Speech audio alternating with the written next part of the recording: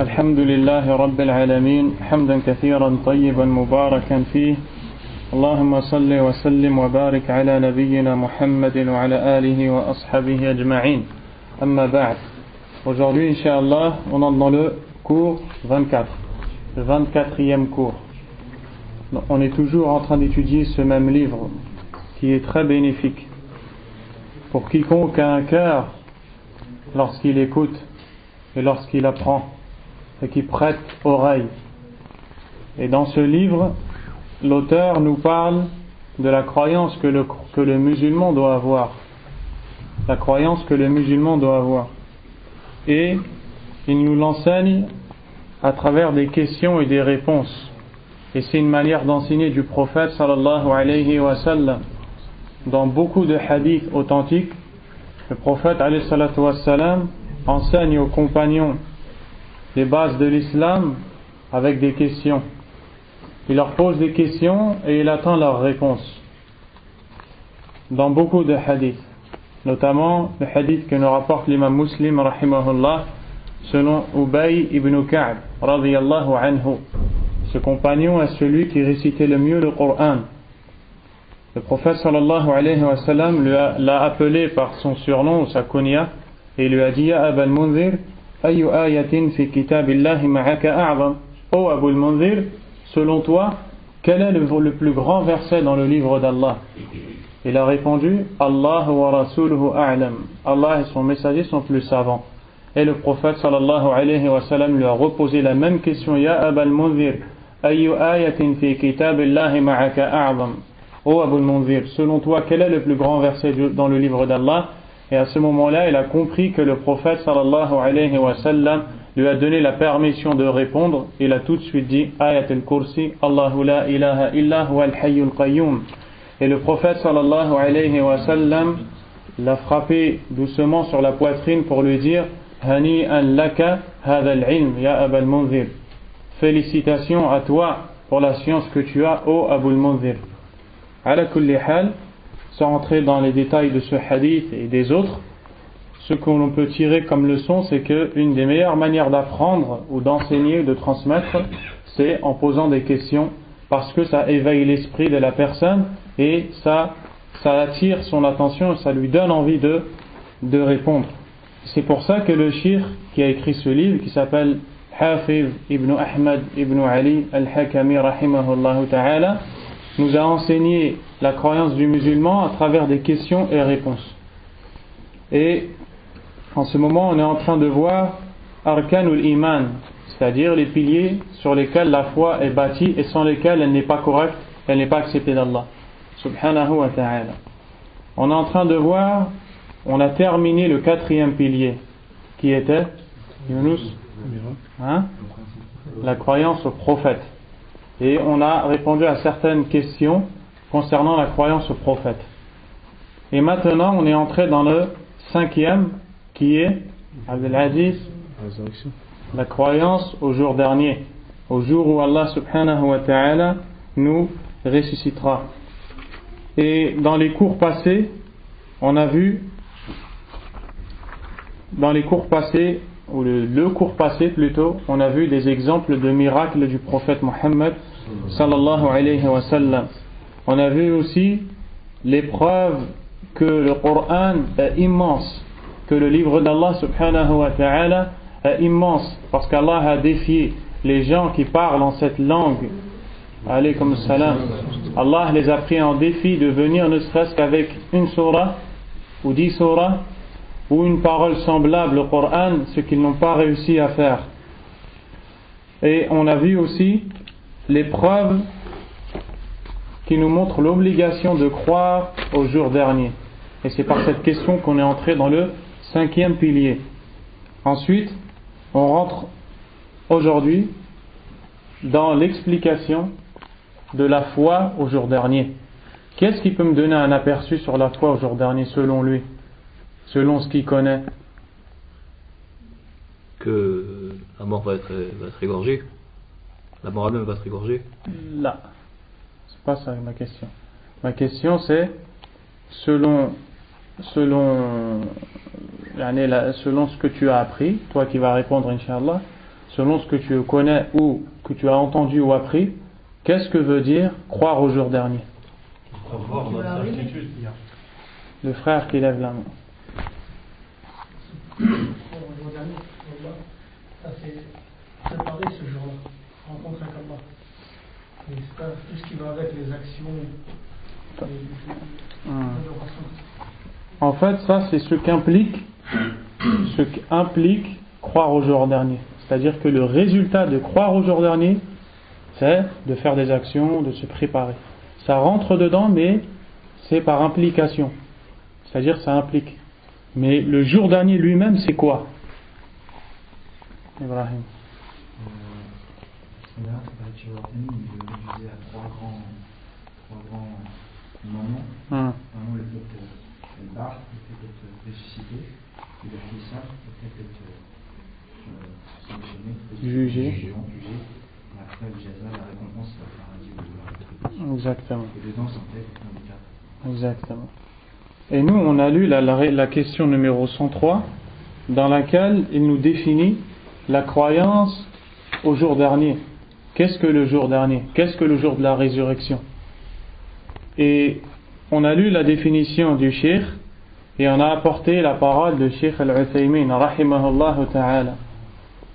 Alors on a dit que le, la croyance au jour dernier, si on voulait la résumer et si on voulait de manière courte l'expliquer, on n'a qu'une chose à dire c'est croire à tout ce qui va se passer après la mort. D'accord? Tout ce qui va se passer après la mort s'appelle les étapes de l'au-delà. La mort, la tombe, lorsque les deux anges vont venir questionner, lorsque celui qui est enterré va voir le paradis ou l'enfer, lorsque les gens vont être ressuscités, lorsqu'ils auront des, des comptes à rendre, lorsqu'ils traverseront le pont qui est placé au-dessus de l'enfer, lorsque les croyants ne pourront pas entrer au paradis tant qu'ils ne se sont pas excusés dans un pont particulier qui se trouve avant le paradis, lorsque les croyants vont aller voir l'eau de la main du prophète Mohammed, le jugement, la rétribution, les actions qui seront pesées, tout ça c'est ce qu'on appelle les étapes de, de l'au-delà. Donc, croire au jour dernier, si on voulait vraiment de manière courte l'expliquer, on dit croire à tout ce qui va se passer après la mort. Car le prophète sallallahu alayhi wa sallam nous dit dans un hadith, Man mat, qamat qiyamatuhu. Celui qui meurt, son qiyama, sa résurrection à lui a commencé. Maintenant, si on veut la cerner dans des points importants, on va la cerner dans trois points importants. Et de tous ces points vont découler toutes ces étapes qui ont été citées ici. Si on veut cerner dans trois points Qu'est-ce que veut dire croire au jour dernier? Ça veut dire trois choses. La première, al-iman ou bil La deuxième, al-iman ou bil hisab. Et la troisième, al-iman ou bil jaza. Al-jannah ou al-nar. Donc le premier point, c'est la croyance en la résurrection. La croyance en la résurrection, c'est-à-dire la croyance qu'Allah subhanahu wa ta'ala va ressusciter l'ensemble de ses créatures homme soit-il ou femme, enfant ou vieux, Allah subhanahu wa ta'ala va tous les ressusciter. Cette chose-là, la parole d'Allah, le Coran, a appuyé cette chose-là dans beaucoup de versets. Pourquoi? Qu'est-ce qui sait pourquoi Allah subhanahu wa ta'ala, dans beaucoup de versets, a appuyé l'obligation de croire au jour dernier savoir qu'après la mort, on a des comptes à rendre. Ça, c'est une chose vraie, mais ce n'est pas la réponse à la question. Parce que les koufars, ils ne croient, pas à une vie après la mort. Exactement. Parce que une des particularités du peuple de Quraysh, c'est qu'ils ne croyaient pas à la résurrection. Ils ne croyaient pas au fait qu'Allah puisse les faire sortir de leur tombe et les réveiller pour les ressusciter. Ils pensaient qu'après ils allaient être poussière. Et pourtant, ce peuple croyait en Allah. Il croyait en Allah, il croyait qu'Allah était le créateur, le pourvoyeur et qu'Allah avait tout donné. Mais cette chose-là particulièrement, il n'y croyait pas. Pour cette raison, Allah subhanahu wa ta'ala a appuyé dans de nombreux versets du Coran l'obligation de croire qu'on va être ressuscité par Allah subhanahu wa ta'ala. Et c'est pour cela qu'Allah a ordonné au prophète Mohammed sallallahu alayhi wa sallam de jurer par Allah que l'heure viendra, c'est-à-dire qu'on va être ressuscité. Dans trois passages du Coran, dans Surat Yunus, dans Surat At-Tarabun et dans Surat As-Saba. Et dans ces trois surahs, ou plutôt dans les trois versets qui se trouvent dans ces trois surahs, Allah à chaque fois, subhanahu wa ta'ala, ordonne au prophète Mohammed de jurer par Allah que l'heure viendra. Et c'est la seule chose dans laquelle Allah a, ordonné au prophète de jurer que cette chose arrivera. C'est la première chose dans laquelle il faut croire. Al-iman ou amwat wa ikhrajuhum min al-qubur. Donc, le fait de ressusciter les morts et de les faire sortir de leur tombe. Allah Azza wa a dit dans la surah que vous avez entendue Et lorsque la terre fera sortir ses fardeaux. Qui sont les fardeaux? Les hommes. Les hommes, les femmes, les créatures d'Allah qui sont enterrées. Lorsque la terre fera sortir ses fardeaux, c'est-à-dire lorsqu'Allah subhanahu wa ta'ala ressuscitera les gens, les morts, et qu'ils sortiront de leur tombe. Et qu'ils sortiront de leur tombe. Et c'est la première chose dans laquelle il faut croire. La deuxième chose dans laquelle il faut croire concernant la croyance au jour dernier, pourquoi Allah nous ressuscite Pour nous juger. Et c'est la deuxième chose dans laquelle il faut croire. Al-Hisab, le jugement. Allah subhanahu wa ta'ala a aussi nous a montré dans beaucoup de versets qu'on va être jugé. Allah a dit à son prophète sallallahu alayhi wa sallam dans les derniers versets de Surat Al-Qasas, les récits,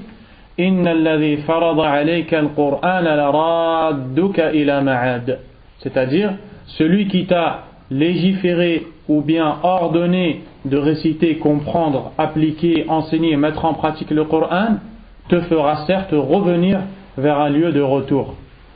Donc Allah dit à son prophète alayhi qu'il le fera revenir vers lui le jour du jugement dernier. Pour quelle raison? Quelle raison? Pour le juger. Pour le juger. Allah a dit dans notre verset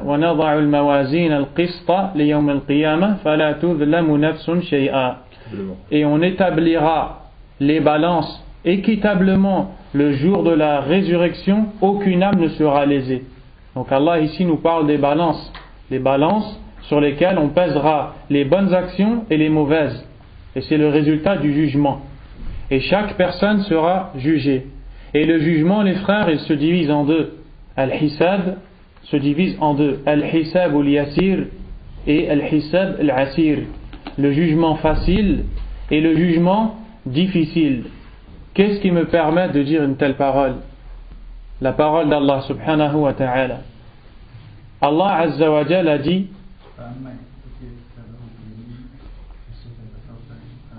هذا هو Quant à la preuve concernant euh, le jugement facile, Allah nous dit au sujet de ceux qui recevront leur livre dans la main droite, quant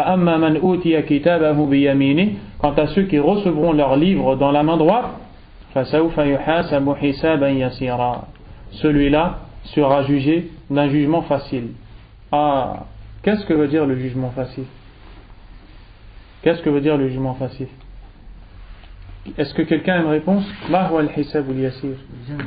Hein Là. Le jugement facile, c'est le fait qu'Allah subhanahu wa ta'ala va rapprocher son serviteur de lui pour le juger et il va le couvrir de sorte à ce que personne d'autre que lui n'entende les défauts de son serviteur.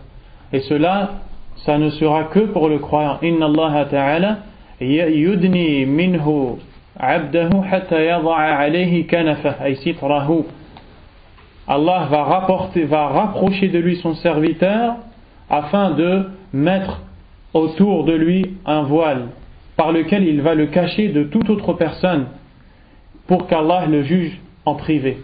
Et lorsqu'Allah le jugera, celui-là, celui qui aura ce jugement facile, il lui dira Allah Azzawajal lui, lui rappellera tous les péchés qu'il a fait. À un point où cet homme va penser qu'il est voué à périr. Il, a, il, a voué, il est voué à la perdition.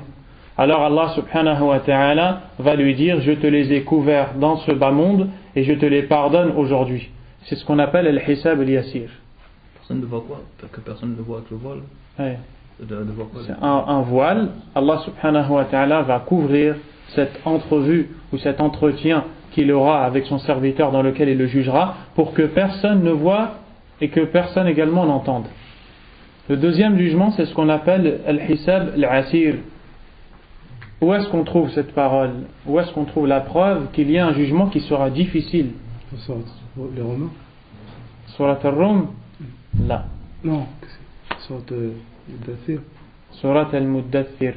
Quel est le verset? Dans ce verset, Allah subhanahu wa ta'ala dit Celui qui recevra son livre. Euh, non, c'est pas. J'ai oublié en fait le verset. Mais dans ce verset, Allah subhanahu wa ta'ala dit Hada yawmun asir. Ils diront ce jour-là, lil kafirina ghayru yasir. Ce jour-là est difficile et il n'est pas facile pour les mécréants. Qu'est-ce que vous venez de comprendre ici? Nassim, t'as compris quoi? Que le jugement va être difficile. Attends, c'est Nassim qui va répondre. C'est pas grave. Quoi, t'as compris quoi? Que le jugement il va être difficile.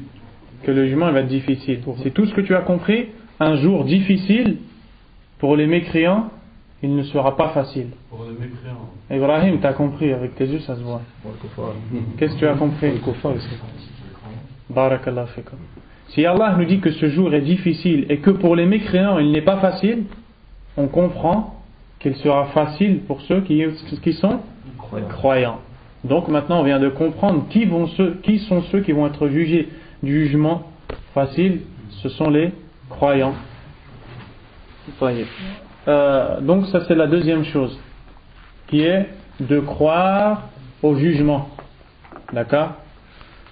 Il faut savoir que ces trois choses dans lesquelles on, a l'obligation de croire, l'iman bil ba'ath, l'iman bil hisab, l'iman bil jaza, la foi à la résurrection, la foi au jugement et la foi à la rétribution, qu'elle soit bonne ou mauvaise, Allah subhanahu wa ta'ala, samma yawm al-qiyamah وخص آه يعني خص أسماء لهذه الأمور الثلاثة فسماه يوم ال- يوم ال- البعث وسماه يوم الحساب وسماه يوم الدين بمعنى يوم الجزاء Donc dans ces trois choses-là, Allah Azza wa Jalla a donné un nom parmi les noms du jour du jugement dernier qui correspondent à ces choses-là. Quant au premier, le jour de la résurrection, Allah a appelé le jour, de la- le jour dernier Yawm al-Ba'ath, le jour de la résurrection. Le deuxième, le, jour du jugement, Allah l'a appelé Yawm al-Hisab, le jour du jugement. Et le troisième, le jour de la rétribution, Maliki Yawmi ad-Din, Yawm ad-Din, le jour de ad-Din. Qu'est-ce que ça veut dire ad-Din De payer. Hein non C'est proche de ça. Qu'est-ce que ça veut dire ad-Din Vous voyez que din des fois ça veut dire l'islam et là ça veut dire la rétribution. De payer ce que tu as acquis, non Hein De payer ce que tu as acquis.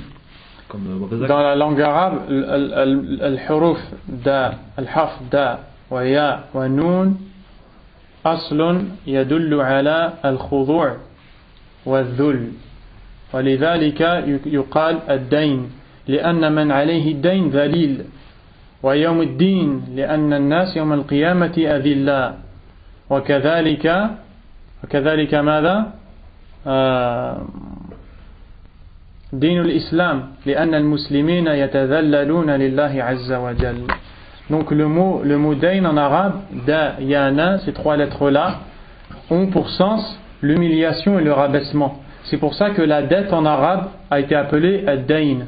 Parce que celui qui est endetté, il est tout le temps rabaissé devant celui à qui il doit de l'argent. De même que le jour du jugement dernier a été appelé Yawm ad-Din, parce que ce jour-là, les gens seront rabaissés devant la grandeur d'Allah. Et également, la din, qui est la religion d'Allah, a été appelée din parce que les musulmans, lorsqu'ils se soumettent à Allah, ils se rabaissent devant Allah. Subhanahu wa ta'ala. Et la troisième chose en laquelle on doit croire concernant la foi au jour dernier, al-imanu bil jaza. La troisième chose, c'est l'obligation de croire en la rétribution. La rétribution, c'est ce que la personne mérite, que ce soit le paradis ou l'enfer. C'est-à-dire maintenant, on veut dire ici croire au paradis et à l'enfer. Croire au paradis et à l'enfer. Le paradis a été préparé pour qui? Hein? Il a été préparé pour les gens qui sont pieux, ceux qui obéissent à Allah et suivent le messager d'Allah, sallallahu alayhi wa sallam. Et l'enfer a été préparé pour qui? Il a été préparé pour? Il a été préparé pour qui? Pour les mécréants. Allah a dit nar allati u'iddat lil kafirin. Prémunissez-vous contre l'enfer qui a été préparé pour les mécréants. Est-ce que les gens qui entreront en, enfer seront tous des mécréants Ou bien est-il possible qu'un croyant entre en enfer Possible qu'un croyant. Hein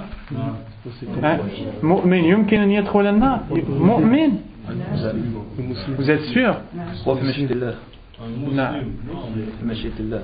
Rentre pas dans ça. Al-Muhim, un musulman, il peut entrer en enfer ou pas Non, un musulman, il peut entrer en enfer. Est-ce qu'il va rester éternellement en enfer Il ne va pas rester éternellement en enfer. Tant qu'il a quoi Tant qu'il a dans son qalb tawhidullah. Tant qu'il a dans le cœur l'unicité d'Allah et le sens de la ilaha illallah qui veut dire la ma'bud bi haqqin illallah. Aucune divinité n'a le droit véritablement à l'adoration sauf Allah. Tant qu'il a ce sens-là et qu'il n'a pas associé Allah subhanahu wa ta'ala, il ne sera jamais en enfer éternellement. Et mes frères, il faut comprendre les hadiths du prophète sallallahu alayhi wa sallam. Et sachez que tous les hadiths dans lesquels le prophète sallallahu alayhi wa sallam dit celui qui fait telle et telle chose entrera au paradis. Et tous les hadiths où le prophète alayhi wa dit celui qui fait telle et telle chose entrera en enfer. Il faut savoir que beaucoup de gens pensent que puisqu'il a lu Man al al jannah celui qui prie le fajr al-asr entrera au paradis, en lisant ce hadith, il pense que tout ceux qui va prier le Fajr et l'Asr va entrer au paradis. Il meurt, il entre au paradis. Et il te dit, c'est le prophète qui a dit ça. Naam, c'est le prophète qui a dit ça. Mais c'est le prophète sallallahu alayhi wa sallam également qui t'a enseigné toutes les conditions et tout ce que ces hadiths veulent dire. Le même hadith d'une personne à une autre, il veut dire autre chose.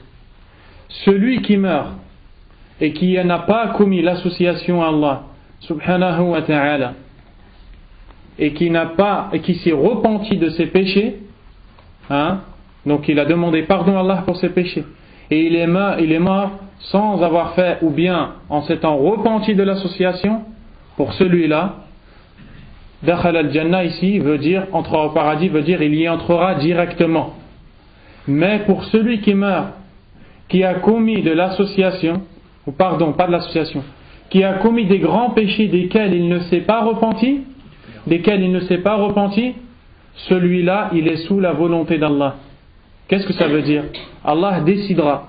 S'il veut, il le fait entrer directement au paradis.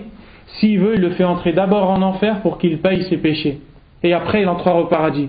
Alors pour cette personne-là, le sens de ce hadith sera, il entrera au paradis après avoir payé ses péchés. Donc ne pensez pas lorsque vous voyez un hadith entrera au paradis, que ça veut dire directement la personne entrera au paradis. Et c'est pareil aussi pour les hadiths on voit dans, lesquels on voit que le prophète a dit celui qui fait telle et telle chose parmi les bonnes actions, Allah l'interdira à l'enfer. Qu'est-ce que ça veut dire? Pour celui qui est mort, qui n'a pas fait d'association et qui s'est repenti de ses, de ses grands péchés et qui a demandé à Allah le pardon, celui-là, Allah lui interdit d'entrer en enfer. Pour celui qui meurt, qui a fait des grands péchés desquels il ne s'est pas repenti, celui-là, Allah l'interdit d'éterniser en enfer. Mais ça veut dire qu'il y entrera.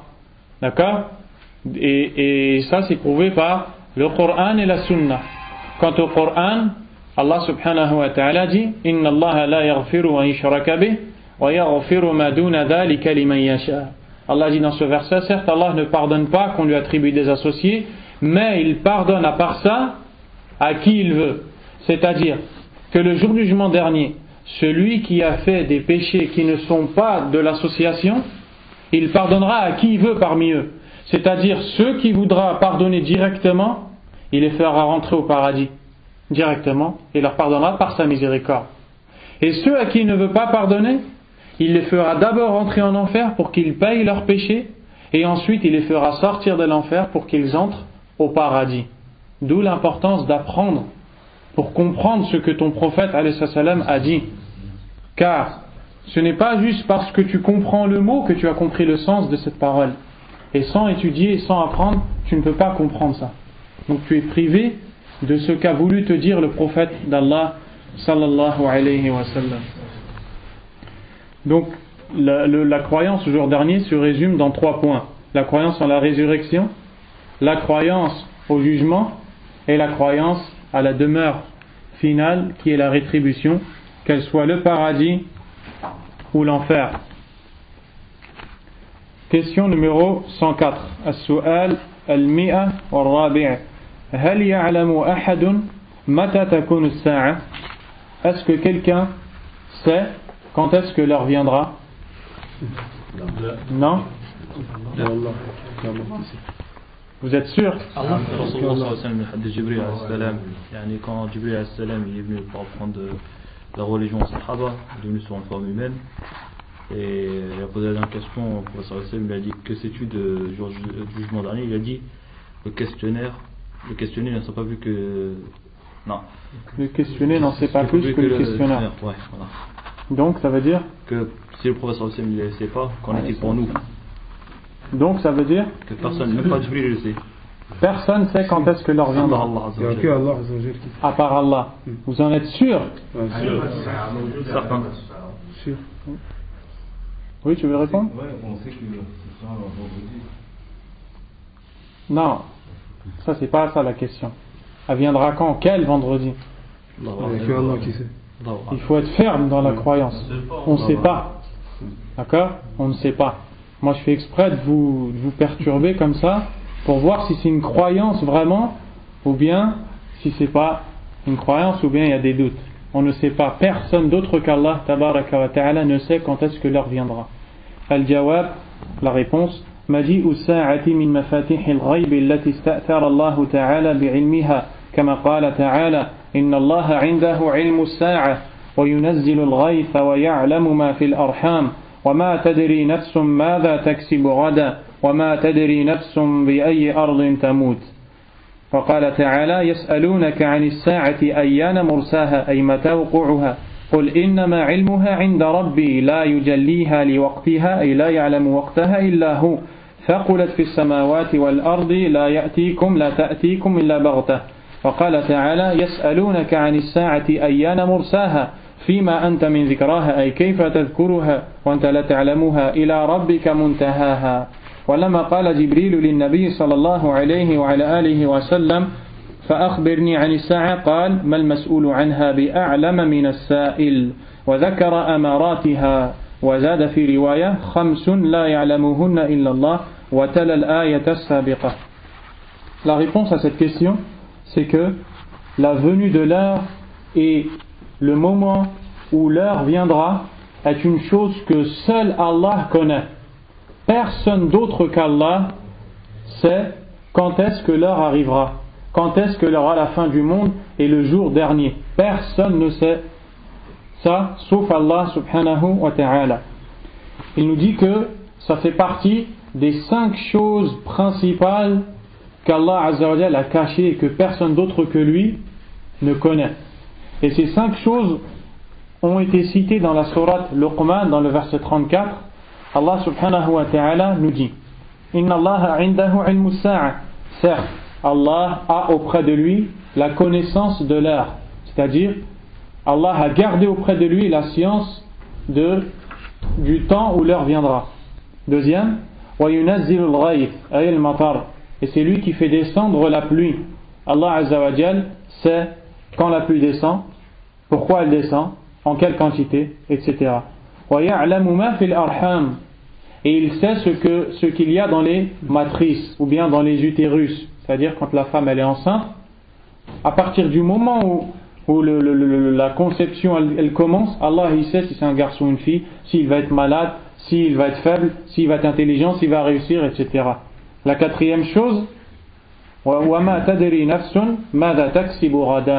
aucune âme ne connaît ce qu'elle va acquérir demain, ce que tu vas faire comme action demain. Et aucune âme ne sait sur quelle terre elle va mourir. Ici, dans un hadith, le prophète sallallahu alayhi wa sallam a dit Il y a cinq choses que seul Allah connaît, c'est-à-dire des choses qu'Allah a cachées auprès de lui. Cinq choses. Et c'est les cinq choses qu'on vient de citer. Mais est-ce qu'Allah connaît que ça parmi les choses qu'il a gardées auprès de lui Ou bien y a-t-il d'autres choses qu'Allah a gardées auprès de lui Il y a d'autres choses. Pourquoi ces choses-là ont été appelées mafatih al les clés de l'invisible? Le prophète a appelé ces choses, ces cinq choses-là du verset ici, les clés de l'invisible. Quand est-ce que l'heure viendra? Quand est-ce que la pluie tombe? Ce qu'il y a dans les ventres des mers Qu'est-ce que la personne va faire demain Et où la personne va mourir Parce que si on médite dans ces cinq choses-là, on va voir que de ces cinq choses-là découle tout ce qui se passe. Allah Azzawajal, c'est le seul à savoir quand est-ce que telle personne va naître et quand est-ce que la, une autre personne va mourir. C'est la seule personne, c'est Allah, pardon, Allah ta'ala est le seul qui sait quand est-ce que telle végétation va pousser et telle végétation ne va pas pousser? Et cela est le résultat de la tombée de la pluie. Donc quand Allah Azzawajal est le seul à connaître quand la pluie tombe, il est le seul à connaître ce qui va résulter de la tombée de cette pluie qui est la vie, la vie qui va arriver. Quand Allah subhanahu wa ta'ala nous dit qu'aucune âme ne sait ce qu'elle va faire demain, donc Allah azawajal sait ce que tout le monde va faire demain. Et c'est pour ça qu'on appelle ces cinq choses-là les clés de l'invisible. Parce que de ces cinq choses-là découle tout ce qui se passe, les choses relatives à l'invisible. Et Allah azawajal a dit dans l'autre verset, Al-A'raf, il dit à son prophète sallallahu alayhi wa sallam, il t'interroge au sujet de l'heure. Quand est-ce qu'elle viendra? Allah parle de qui ici? De Quraysh. Il parle de Quraysh qui dit au prophète alayhi sallam quand est-ce que l'heure viendra? Et nous on vient de dire qu'il ne croit pas à l'heure. Pourquoi alors ils disent, ils disent au prophète alayhi sallam Mata hmm? Pour voir s'il connaît, non? Pour se moquer. Détail. Quoi? Voilà, les deux, les deux questions, les deux réponses, vous les, vous les, vous les rassembler. Pour se moquer, ils lui ont dit quand est-ce que l'heure viendra? C'est une sorte de moquerie parce qu'ils n'y croyaient pas. C'est comme si tu disais à quelqu'un il va, il va, tu vas faire telle et telle chose et il te dit ah bon et quand? Mais il te dit ça sur un ton moqueur. Et c'est ce que le peuple de Quraysh a fait. Ils ont dit au prophète quand est-ce que l'heure viendra? Allah Azzawajal a dit au prophète dit La connaissance de l'heure n'est qu'auprès de mon Seigneur. C'est-à-dire, seul Allah sait quand est-ce que l'heure arrivera. Quand est-ce que l'heure arrivera. Ensuite, il dit Cette chose est lourde dans les cieux et la terre. C'est-à-dire, l'heure, lorsque le jugement arrivera, c'est une chose lourde qui arrivera dans les cieux et sur la terre. Elle ne viendra que subitement. Elle ne viendra que subitement à un point où le prophète wassalam, a dit, dans un hadith qui nous est rapporté par Muslim selon Abu Huraira, ça c'est pour nous montrer comment l'heure va venir subitement, ou plutôt dans ce hadith, le prophète dans plusieurs hadiths, pardon, nous dit l'heure va arriver tellement rapidement que les gens ils seront au marché, c'est des hadiths rapportés par le Bukhari et Muslim ils seront au marché pour vendre. Il va prendre un vêtement pour l'acheter, il n'aura même pas le temps de le reposer que l'heure arrivera. Un autre va vouloir euh, sortir le lait. Traire. Va vouloir, va vouloir traire. Et quand il va sortir le lait de sa chamelle, il va prendre pour boire, il n'aura même pas le temps de le boire que l'heure, que l'heure arrivera. Et il nous, a, il nous a cité beaucoup de choses qui nous montrent qu'elle va arriver subitement et, et rapidement. Elle va arriver très rapidement. Taïb. Maintenant, on voit aussi dans, dans l'autre verset, Allah subhanahu wa ta'ala dit à son prophète salam, il t'interroge au sujet de l'heure, quand est-ce qu'elle viendra? Mais comment pourrais-tu le dire? Le sens du verset, c'est qui es-tu donc pour dire ça? Comment peux-tu leur parler de ça? C'est-à-dire tu ne peux pas parce que tu ne sais pas.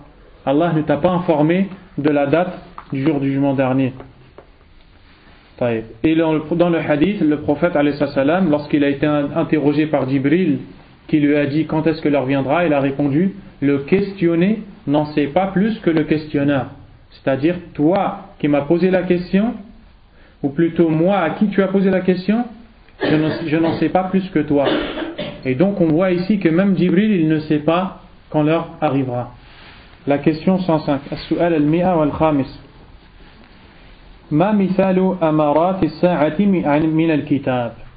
On a vu qu'on ne peut pas savoir quand est-ce que l'heure viendra.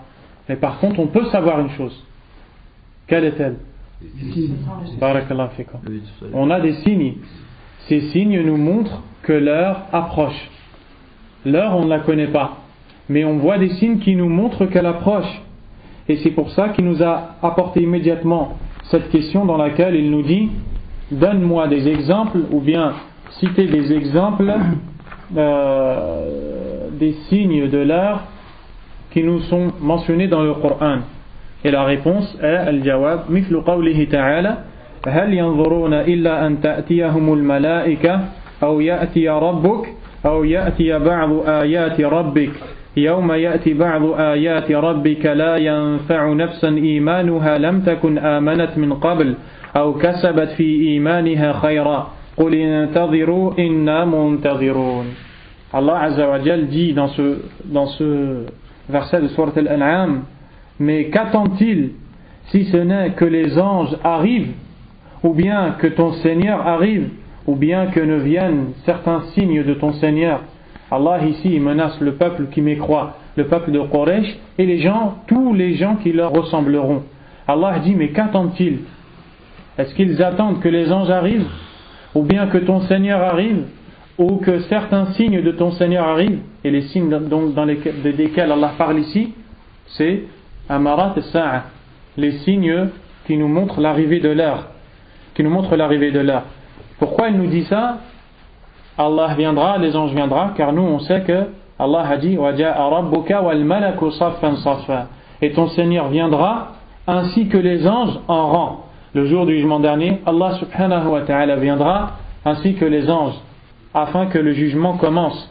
Et ici, il leur dit Vous ne croyez pas, mais qu'attendez-vous Qu'Allah vienne Que les anges viennent pour que le jugement commence Pour croire Ou bien que viennent certains signes de ton Seigneur et là, il dit Le jour où certains signes de ton Seigneur viendront, à ce moment-là, la foi de quiconque ne lui sera d'aucune utilité. C'est-à-dire la personne qui veut maintenant avoir la foi, qui veut y croire, c'est trop tard. Il dit à ce moment-là, c'est-à-dire lorsque les signes de ton Seigneur viendront, eh bien, la foi de quiconque ne lui sera d'aucune utilité si elle n'a pas eu la foi avant, si, cette personne n'a pas eu la foi avant, ou bien n'a pas fait de bonnes actions, n'a pas fait de bonnes actions. Dit, attendez, nous aussi nous attendons. C'est une menace d'Allah. وقوله تعالى وإذا وقع القول عليهم أخرجنا لهم دابة من الأرض تكلمهم أن الناس كانوا بآياتنا لا يقنون عليكم السلام Dans ce verset, Allah subhanahu wa ta'ala dit Et lorsque la parole se réalisera contre eux, c'est-à-dire, Allah Azzawajal a décidé quand l'heure viendra. Lorsque l'heure viendra et que la parole d'Allah s'appliquera, à savoir qu'Allah décidera que l'heure arrive, lorsque l'heure arrivera et que la parole d'Allah se, se concrétisera, se concrétisera, Allah va faire sortir une bête de la terre qui parlera aux gens. Allah va faire sortir une bête de la terre cette bête parlera aux gens et leur dira Vous n'étiez pas certains, vous n'étiez pas certains du jugement. Ou de, vous n'étiez pas certain de toutes ces choses-là, de la religion d'Allah. Donc parmi les signes de la fin des temps, Allah fera sortir de la terre, une bête. Il fera sortir de la terre une bête qui s'adressera aux gens pour leur rappeler qu'ils étaient égarés. Des, hadiths sont venus nous décrire cette bête, mais les hadiths qui sont venus nous décrire cette bête ne sont pas authentiques. Donc il n'y a rien d'authentique quant à la description de cette bête, comment elle sera. Mais ce que nous tirons, c'est qu'une bête sortira avant la fin des temps pour dire aux gens qu'ils étaient égarés, que cette bête sortira de la terre et elle leur parlera en une langue qu'ils vont comprendre.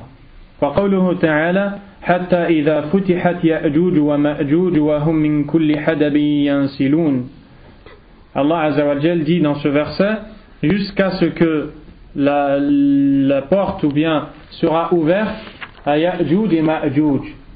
Et qu'ils euh, et voir la traduction? Et qu'ils déferleront de tout sommet.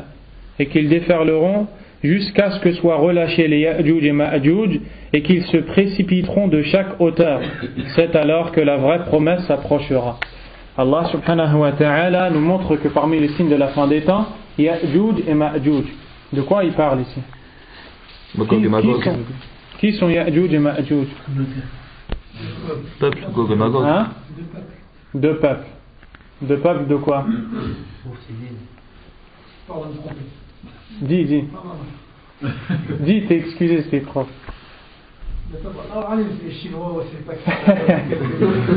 non, ce que je voulais que tu me dises, c'est deux peuples d'humains ce sont des êtres humains. Et, sachez qu'il y a des savants qui disent que c'est des Chinois, les Ya'juj et Ma'juj.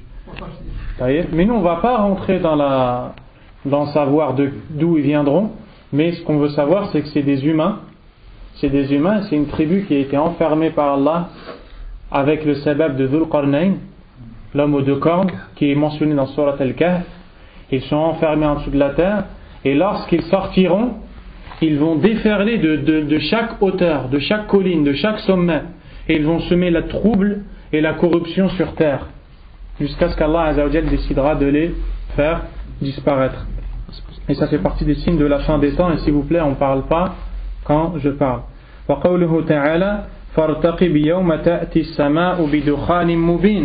Dans ce verset, Allah subhanahu wa ta'ala dit Attends donc lorsqu'il viendra du ciel une fumée évidente ou une fumée claire et ça ça fait partie des signes de la fin des temps Allah subhanahu wa ta'ala amènera une énorme fumée qui sera dans le ciel une énorme fumée qui sera dans le ciel وقوله تعالى يا أيها الناس اتقوا ربكم إن زلزلة الساعة شيء عظيم Ô vous les gens, craignez votre Seigneur car certes le tremblement de l'heure est une chose immense. Ici, de quoi il nous parle? Il nous parle de quoi Allah Azza Qu'avant avant l'heure, avant l'heure, la terre entière va trembler. On dit bien la terre entière, parce qu'il fait partie des signes de l'heure qu'il y aura de plus en plus de tremblements de terre, mais dans des parties de la terre. Mais le plus grand signe, et ça fait partie des grands signes, c'est que la terre tout entière va trembler. Allahu Akbar. La terre tout entière va trembler. Et Allah Azzawajal a dit dans, dans ce verset Ô vous les hommes, craignez votre Seigneur, car le tremblement de l'air est une chose terrible. À un point où Allah a réservé une surah pour ce tremblement. Lorsque la terre tremblera. Donc c'est un des plus grands signes aussi de la fin des temps. On vient de voir dans le, dans le premier verset qu'on a cité qu'Allah a dit lorsque certains signes de ton Seigneur viendront, je vais lire la traduction directement, le jour où certains signes de ton Seigneur viendront, la foi à lui ne profitera à aucune âme qui n'avait pas cru auparavant ou qui n'avait acquis aucun mérite de sa croyance, qui n'avait pas fait de bonnes actions. Allah Azzawajal ici nous dit lorsque viendront certains signes de ton Seigneur.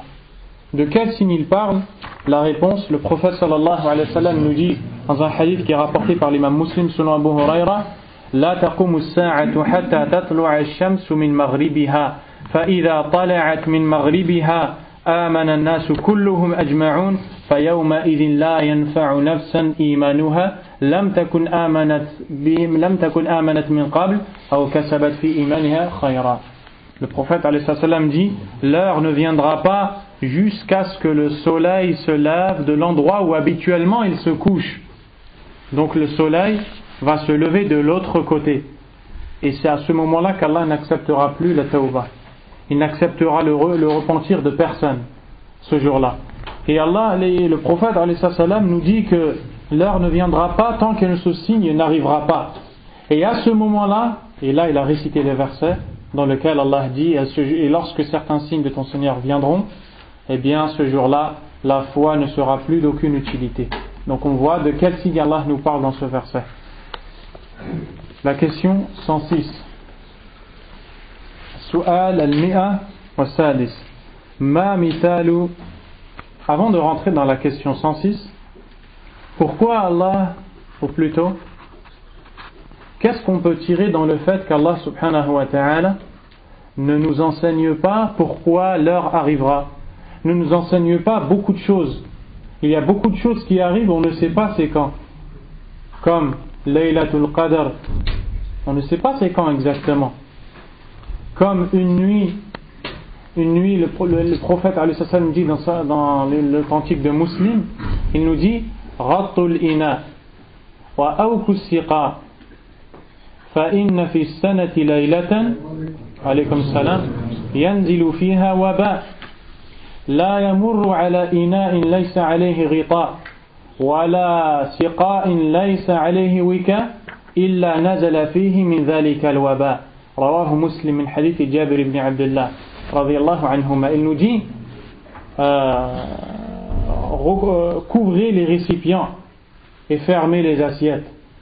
Couvrez les récipients et fermez les assiettes. Car il y a dans l'année une nuit dans laquelle des maladies descendent. Ces maladies qui descendent ne laissent aucune assiette ou récipient ouvert sans se mettre dedans. Et donc le prophète nous montre un aide par rapport au plat, c'est de les couvrir, de les laisser tout le temps couverts. Quand tu as fini de manger, tu le couvres. Tu fais pas comme la plupart des gens, tu poses l'assiette comme ça, non, tu couvres. Pourquoi le prophète ne nous a pas dit quand est-ce que cette nuit arrivera? Pourquoi on ne sait pas quand le jour du jugement dernier arrive? Pourquoi on ne sait pas quand on va mourir? Pourquoi on ne sait pas quand a lieu exactement Laylatul Qadr? Pourquoi on ne sait pas? Le prophète nous dit qu'il y a dans la journée une heure où Allah exauce les invocations. Dans la nuit, une heure où Allah nous exauce les invocations. Tout ça pour nous montrer que ces choses dont on, a, dont on ne connaît pas le temps ou quand est-ce qu'elles arriveront sont des choses immenses chez Allah subhanahu wa ta'ala. Allah ne nous dit pas quand est-ce que l'heure arrivera, tellement cette chose est immense. Et il ne nous a pas dit non plus quand est-ce que cette nuit arrivera dans laquelle il y a les maladies pour nous dire que dans cette nuit-là, il y a des maladies terribles qui peuvent descendre. Donc quand Allah ne nous informe pas d'une chose, c'est parce que cette chose, elle est immense. La question 106, Ma mithalu amarati sa'ati minas sunnah. Des exemples, des exemples de signes de la fin des temps dans la sunna, c'est-à-dire dans les hadiths du prophète. Alayhi salatu wassalam. Al-jawab, la réponse. Mithlu ahadithi tulu'i shamsi min maghribiha. Comme les hadiths qui nous montrent que le soleil se lèvera de son couchant. Wa ahadithi dabba et les hadiths qui nous montrent, qui nous parlent de la bête qui sortira de la terre.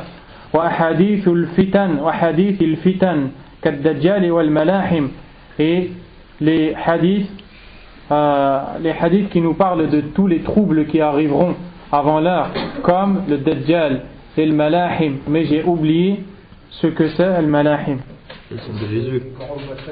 Hein? le Malahim c'est des grandes batailles. C'est des grandes batailles et euh, les. Comment on appelle ça? Où il y aura beaucoup de meurtres, beaucoup de morts. Donc ça fait partie des signes de la fin de l'heure et c'est ce qu'on voit aujourd'hui. Et les hadiths qui nous parlent de Isa qui redescendra sur terre et la sortie de les hadiths qui nous parlent de la fumée qui sortira avant l'arrivée de l'heure et les hadiths qui nous parlent du vent qui récupérera le vent viendra prendre tous les âmes croyantes dans le hadith le prophète sallallahu alayhi wa sallam a dit إن الله يبعث ريحا من اليمن ألين من الحرير فلا تدع أحدا في قلبه مثقال حبة من إيمان إلا قبضته Le hadith est rapporté par Muslim et le prophète sallallahu alayhi wa sallam nous dit certes Allah va envoyer un vent c'est-à-dire avant l'heure il va envoyer un vent qui viendra du Yémen et qui sera plus doux que la soie ce vent-là ne laissera pas un croyant sans le prendre avec lui et pourquoi Allah va envoyer un vent pour reprendre les croyants avant l'arrivée de l'heure? Pourquoi? Pour les préserver de quoi? Va descendre. Va descendre sur la pierre. Pour les préserver du châtiment. De quel châtiment? De l'heure. Du châtiment qui va avoir dans ce bas monde, le dernier. Et le prophète a dit La sa'a illa ala shirar al-khalq. Ou kama L'heure n'arrivera que sur les pires gens. C'est-à-dire que quand l'heure arrivera, les gens qui seront vivants sont les pires des créatures, les pires des mécréants. Et Allah Azzawajal, il va enlever les croyants avant de les châtier, ces gens-là, avant que l'heure, avant que l'heure n'arrive. Également, des hadiths nous parlent d'un feu énorme qui arrivera. Il y a deux hadiths qui sont rapportés par Muslim, qui nous parlent de deux feux différents. Quant au premier, l'imam al-Bukhari pardon, nous dit que le prophète sallallahu alayhi wa sallam a dit, alayhi salam, لا تقوم الساعة حتى تخرج نار من أرض الحجاز فتضيء أعناق الإبل ببصرة le prophète nous dit l'heure n'arrivera pas jusqu'à ce que va sortir de la terre du Hijaz, c'est vers la ville de Médine, un feu tellement énorme qu'on va voir le reflet des flammes dans les coups des chamelles qui se trouvent à Bousra. Et Bousra, c'est dans le Sham c'est vers la Palestine et vers la Syrie. L'imam Ibn Kathir nous dit que ce feu est arrivé en l'an 700 de l'Égypte. En l'an 700 de l'Égypte, il y a un énorme volcan qui a éclaté et le feu il était tellement fort qu'on voyait le reflet des flammes et la couleur du, du vive du feu sur les chamelles qui se trouvaient dans le Shem. Ça c'est le premier signe et il est arrivé en l'an 700. Quant au deuxième signe, quant au deuxième signe, c'est un feu qui sortira de la ville de Aden au Yémen. Et ce feu-là va pousser les gens et va tous les rassembler à l'endroit où ils seront jugés. Le prophète sallallahu alayhi wa sallam a dit وآخر ذلك نار تخرج من اليمن تطرد الناس إلى محشرهم Et parmi les derniers signes, un feu immense qui sortira, qui sortira du Yémen et dans un autre hadith, il nous dit de la ville de Aden, c'est une ville connue au Yémen, il sortira de cette ville-là et il va se déplacer. il va pousser les gens jusqu'à l'endroit où ils seront jugés. Et ce feu-là, bien sûr, n'est pas encore arrivé. Et les hadiths qui nous parlent de al-khasf, c'est l'engloutissement sous terre. Le prophète sallallahu alayhi wa sallam nous dit.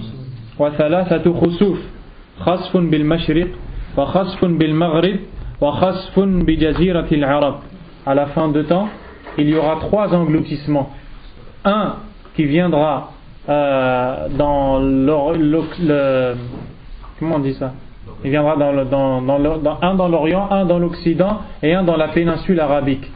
Et c'est des gens, ils seront en train de marcher et ils vont tous être engloutis sous la terre.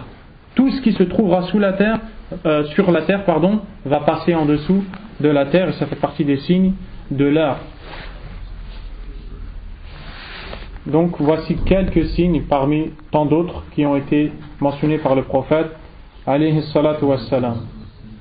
La question 107. Maintenant, il va, nous parler d'autre chose.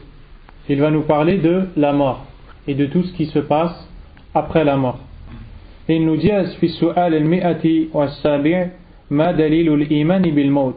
quelle est la preuve que nous devons croire en la mort? Alhamdulillah, c'est une chose qui sûre et qui est certaine. Et même les kofars et les mécréants, les mouchirikoun, les associateurs, les athées, et tout le monde, ils croient tous à la mort. à un point où Allah subhanahu wa ta'ala nous dit يود أحدهم لو يعمر ألف سنة وما هو بمزحزحه أي بمباعده من العذاب أن يعمر لا يبعده من العذاب ولو عاش ألف سنة Allah subhanahu wa ta'ala nous dit dans ce verset l'un d'entre eux aimerait que sa vie soit prolongée pour mille ans et même si elle était prolongée de mille ans il ne, serait pas écarté du feu il ne serait pas écarté du feu il ne serait pas écarté du châtiment donc on voit que tout le monde croit à la mort. Ces gens-là, ils ont couru derrière ce bas monde. Ils ont couru, ils ont cru qu'ils ont été créés pour cette dunya. Quand, la mort se rapproche d'eux, ils aimeraient trouver la solution avec laquelle ils vont payer mille ans de leur vie. Est-ce que vous pensez que déjà ils vont les avoir ces mille ans? Ils ne vont pas les avoir. Et même s'ils les avaient, est-ce qu'ils vont éviter la punition d'Allah? Subhanahu wa ta'ala Ils ne vont pas éviter la punition d'Allah. Et c'est pour ça que le prophète sallallahu alayhi wa sallam nous a dit Akthiru min dhikri Rappelez-vous constamment celui qui détruit les plaisirs. En nous parlant de quoi ici? Al-Maut. En nous parlant de la mort. Donc le musulman doit se rappeler de la mort tout le temps. Mais il ne doit pas se rappeler de la mort juste parce que c'est pour passer son temps. Il doit se rappeler de la mort pour le pousser à obéir à Allah, pour le pousser à avancer dans sa religion, pour le pousser à s'instruire dans sa religion, pour le pousser à faire le repentir, à demander à Allah pardon. On ne pense pas à la mort juste pour passer le temps comme ça. On passe à la mort pour prendre des décisions, pour prendre, pour tirer des leçons. Tous les gens qui sont morts, qui sont morts à ta droite et à ta gauche, est-ce que pour toi ça a été une leçon? Ou bien tu fais comme tous ces gens qui viennent enterrer des gens, et pendant même qu'ils sont en train d'enterrer, ils rigolent, ou bien ils fument, ou bien ils discutent de dunya. Donc le musulman, il doit se rappeler de la mort, parce que personne ne va la fuir. Alaykum salam. Ma dalil iman bil Les preuves qu'on doit croire en la mort. Al-Jawab. قال الله تعالى قل يتوفاكم ملك الموت الذي وكل بكم ثم إلى ربكم ترجعون Allah nous dit dans ce verset, dit, vous fera mourir l'ange de la mort qui a été chargé de vous, puis vous serez ramené, ou plutôt vers votre Seigneur, vous serez ramené. Donc tu ne peux pas fuir la mort. Et Allah dit dans l'autre verset,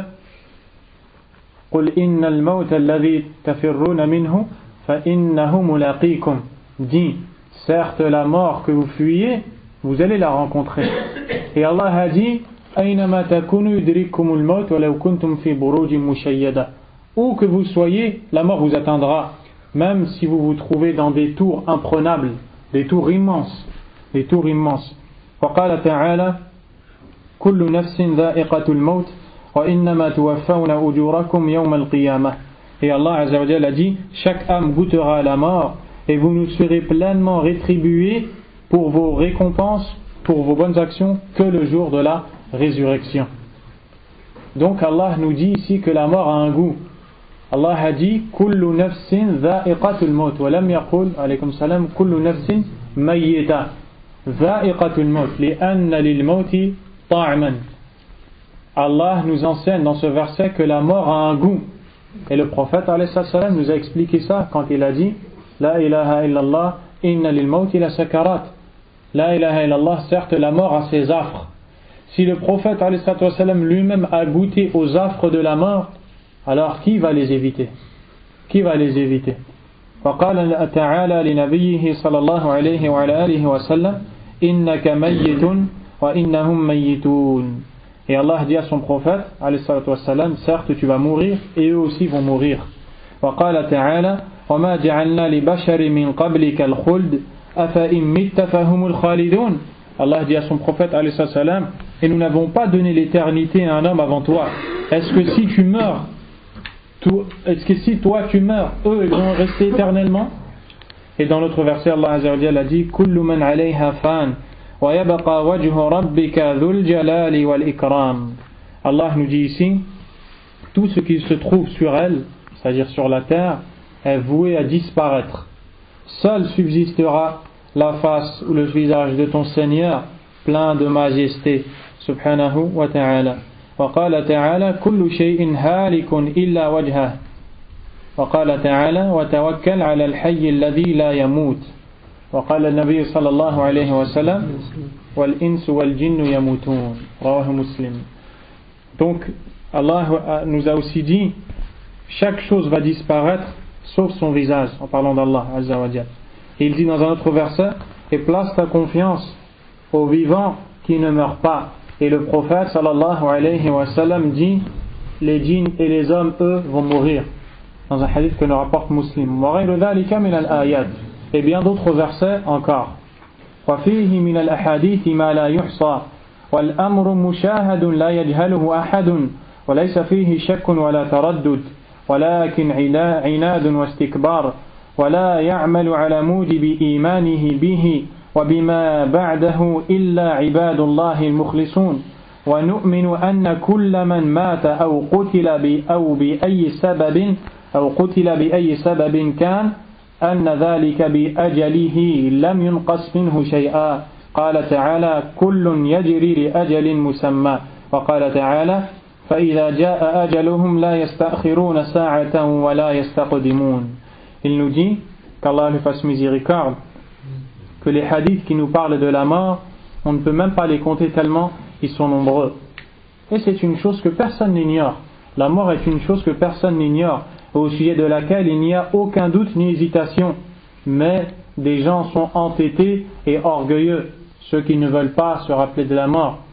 Ceux qui ne veulent pas se rappeler de la mort et qui par leur orgueil font semblant qu'ils vont vivre mille, deux mille et huit mille ans. Donc ces gens-là, ils savent très bien qu'ils vont mourir, mais ils ne veulent pas parler de la mort. Parce que pour eux, la mort, c'est la fin. Il n'y a plus rien après. Et le mot fin, chez eux, ça leur fait trop mal. Ils ne peuvent pas supporter ce mot. Alors que nous, les croyants, grâce à Allah, on sait que la mort, c'est le début. Ce n'est pas la fin, la mort. La mort, c'est le début. C'est le début d'une longue, d'une longue route vers Allah. Subhanahu wa ta'ala. Et c'est pour ça que le croyant qui veut entrer au paradis, la seule chose qui l'empêche d'entrer au paradis, c'est qu'il reste encore dans ce bas monde. Le croyant qui veut être récompensé par Allah, la seule chose qui l'empêche de recevoir la récompense d'Allah, c'est qu'il est encore vivant. Donc en vérité, le croyant, il ne se préoccupe pas de la mort en elle-même. Mais la chose sur laquelle il est préoccupé, c'est comment il va mourir. Les gens, quand ils parlent de la mort, ils parlent de la mort en elle-même ils sont effrayés par la mort, ils ont peur de la mort. Ce n'est pas de ça que tu dois avoir peur, parce qu'il n'y a personne qui va éviter la mort. La chose que tu dois craindre et que tu dois appréhender, c'est l'état dans lequel tu seras. Lorsque tu vas mourir, dans quel état tu seras et comment tu vas rencontrer Allah. Et c'est pour ça que le prophète a dit لا تعجبوا بعمل عامل أي بعمل صالح بعمل صالح عمله أحد من الناس il nous dit ne soyez pas étonnés par la bonne action que quelqu'un a fait jusqu'à ce que vous voyez sur quoi cette personne va mourir. Donc on voit ici que ce qui compte c'est comment tu vas mourir. Et c'est pour ça qu'il a dit que les, les derniers actes, les derniers actes et les dernières actions que tu feras avant la mort sont ceux desquels vont, va dépendre ta destination finale. Donc, regarde, toi tu ne sais pas quand est-ce que tu vas mourir. C'est pour ça que tu dois avancer dans la religion d'Allah, subhanahu wa ta'ala. Mais tu ne dois pas avancer comme bon te semble. Tu dois avancer en suivant les enseignements du Coran et de la Sunna. Tu dois avancer, premièrement, en t'instruisant, en apprenant ce qu'Allah demande de toi, en apprenant ce que le prophète wassalam, demande de toi et en cherchant à comprendre et à mettre en pratique cette chose-là comme Allah subhanahu wa ta'ala te, te, le demande. Allah a dit dans le Coran Il dit à son prophète de se mettre droit comme Allah lui a ordonné. Il ne, il ne lui a pas dit de se mettre droit comme lui il veut. Mets-toi mets -toi droit comme Allah te l'ordonne. Et si tu n'apprends pas cette chose-là, il se peut que tu fasses une chose dans laquelle tu penses être droit alors que tu ne l'es pas, d'où l'importance de s'instruire dans la religion d'Allah. Oui euh, Ça hadith sahih à propos de il dit que Allah euh, fera ressusciter la personne telle qu'elle est morte, de la, façon qu'elle est morte. Hadith il est rapporté par Muslim, le prophète salam, il dit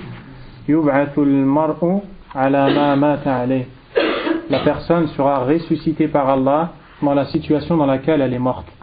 Donc il nous dit aussi que seuls les serviteurs d'Allah sincères sont ceux qui font les actions qu'implique la croyance au jour dernier, la croyance à la mort. Le fait que tu, que tu crois à la mort doit te pousser à faire des actions. Ce n'est pas juste une information. Cette information a pour but de te pousser à obéir à Allah. Subhanahu wa ta'ala. Alaykum salam. Et il dit, nous croyons également que toute personne qui meurt par, par, par quelconque cause, peu importe la cause par laquelle elle est morte, cela fait partie de la destinée d'Allah. Subhanahu wa ta'ala, même si cette personne est tuée ou bien assassinée. C'est-à-dire, il veut enseigner ici que la date de ta mort, elle est écrite par Allah. Donc, lorsque quelqu'un est mort par une cause comme le meurtre, quelqu'un qui s'est fait tuer, assassiner, tu ne, dis, tu ne dois pas dire que cette personne lui a, euh, l'assassin, lui a raccourci sa vie ou bien a empêché à cette personne de continuer sa vie. Pourquoi? Parce qu'Allah a décidé que cette personne elle meurt, elle meurt à ce moment-là. C'est la sagesse d'Allah subhanahu wa ta'ala. Donc nous on croit qu'au moment, la situation, l'heure, la façon avec laquelle on mourra, c'est ce qui a été décidé par Allah subhanahu wa ta'ala. Allah a dit dans le verset, chacun euh, chacun poursuit sa course vers un terme fixé. Chacun fait sa vie jusqu'à ce que vienne son heure, l'heure pour lui de quitter ce monde et de mourir. Et dans l'autre verset, Allah a dit que lorsque le terme viendra à eux, lorsque la, date de leur mort viendra, ils, ils ne pourront ni l'avancer, ni le reculer d'un seul instant. Quand la date de ta mort arrivera, tu ne pourras plus la repousser. Tu ne pourras plus la repousser. Et c'est la dernière chose sur laquelle on termine le dars d'aujourd'hui. Et on continuera samedi prochain, Inch'Allah. نسأل الله عز وجل أن يفقهنا في الدين وأن يغفر لنا سبحانك اللهم وبحمدك أشهد أن لا إله إلا أنت أستغفرك وأتوب إليك وصلى الله وسلم وبارك على نبينا محمد وعلى آله وأصحابه أجمعين